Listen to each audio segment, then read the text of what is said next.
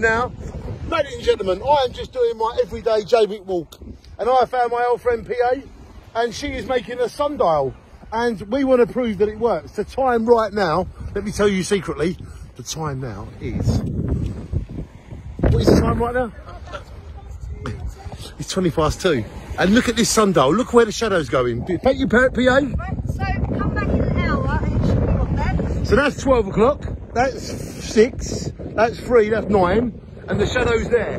So this will be about three o'clock, yeah? Yeah, three o'clock. you three o'clock. So to prove it works. Prove it works. It's so nice to see your innovation and your uh, creativity. I'm teaching their ways. Thank you, ladies, for letting me see your Jaywick sun clock. And uh, well, can we just stand back and admire it from here? One second, as we zoom in. It's an amazing sun clock. It's an amazing sun clock, and look at that shadow showing us that the sun can tell the time. If you don't have this equipment, you can just do yourself. I'm still half past two. Wow, look at that. It's you.